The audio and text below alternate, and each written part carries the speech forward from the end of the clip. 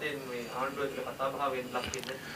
මං හිතන අද කැබිනට් එකෙන් දී ඔය පිළිබඳව කතා බහකට ලක් වෙයි. ගියස් කැබිනට් එකේ කතා බහ වුණා. නමුත් ඒක ජනාධිපතිතුමා ගිය කැබිනට් එකේ හිටපු නැති නිසා අද කැබිනට් එකට ඒ සඳහා යොමු කරලා තිබුණා. දැන් මේ ශ්‍රී ලංකා පොදු ජන පෙරමුණේ මාධ්‍ය හමු නිසා අහන්නේ මුදල් අමාත්‍ය බසිල් රාජපක්ෂ මහත්තයා ලංකාවට එන්නේ කවද්ද? මේ ආර්ථික ප්‍රශ්න විසඳන්න එතුමා ඉන්නත් එපේ. ඔව් එතුමා ඉන්න ඕනේ. නමුත් මේ මුදල් ඇමතුමා හෝ දේශපාලඥයා හෝ මේ මිනිසුන්ටත් ඇට ලේ මස් නාර වලින් හැදිච්ච මිනිස්සු. ඒ මිනිසුන්ටත් එක එක ණයතුරුස් තියෙනවා. මං කියන්නේ මුදල් ඇමතුමාට නෙමෙයි මේ කියන්නේ. දේශපාලඥයෝ ගත්තොත් එම ඒ අයට ලෙඩ දුක් තියෙනවා. ඒ අයගේ දරුවන්ගේ ප්‍රශ්න තියෙනවා. දරුවන්ගේ ලෙඩ දුක් තියෙනවා. ඒ වගේම නීතිමය ප්‍රශ්න තියෙනවා. ඉඩම් ප්‍රශ්න තියෙනවා නිවාස ප්‍රශ්න තියෙනවා ඒ වගේ තැන්වලදී ඉතින් මේ හිර වෙලා ඒ අවශ්‍යතාවය අනුව සමහරවිට මොකක් හරි මම කියපු කාරණා වලින් එකක් උදෙසා හරි එතුමා යන්න ඇති. හැබැයි හැකි ඉක්මනින් එනවා එතුමා. එතුමා නෑ එතුමා ඉතින් පෞද්ගලිකද ඔයාගේ ප්‍රශ්නයක් තියෙනවා නම් ඔයාගේ ප්‍රශ්න විසඳගෙන ඉන්න එපා. නෑ මම මට කියපු එක තමයි මම මේ කියන්නේ. නෑ මං එහෙම කියන්නේ නැහැ. ඉතින් මොකක්ද දැන් මට බෙහෙතක් ගන්න යන්න තියෙනවනම් මම මේ මාධ්‍ය සාකච්ඡාව තිබ්බත් මම ડોක්ටර් කෙනෙක් channel කරනවනේ. ඒක සරලව හිතන්න ඒක ලඝු කරන්න එපා යාට.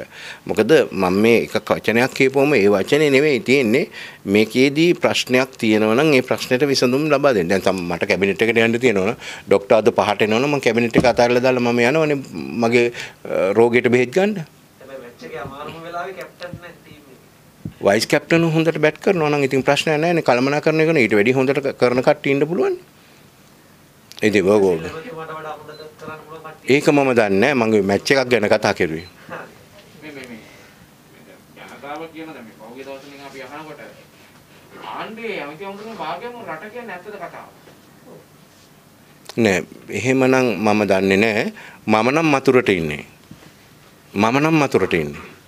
අනිකට රටම් පිට ඇති මම නිශ්චිත වශයෙන් කවුද කවුද ගියේ කියන එක නම් මම බැලුවේ නෑ.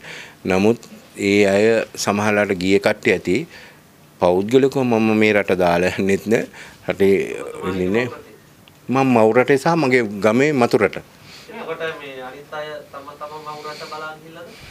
දන්නේ ඒගොල්ලෝ මව් රටේ ඉපදිලා තියෙනවා නම් මව් රටේ ඉපදිච්ච තැනට යන්න ඕනේ. නමුත් ඉතින් විනෝදයට යන්න පුළුවන් වෙයි. දැන් බලන්න නුවරලිය ඊයේ දවසේ මම එනකොට දැන් ඊයේ නුවරලිය ටවුන් එකේ වාහනයක් නෙවෙයි පයින් යන්නත් ඉඩ හසුරවන්න නැහැ.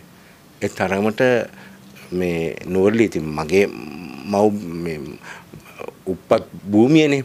හැබැයි ඉතින් කොළඹ ඉපදිච්ච මේ වගේ කට්ටියත් නුවරලියේ ඉන්නේ. මේ දවස් ටිකේ. ඒක නේ